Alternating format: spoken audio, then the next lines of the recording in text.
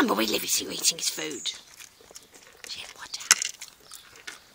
This is how messy my hamster's cage is.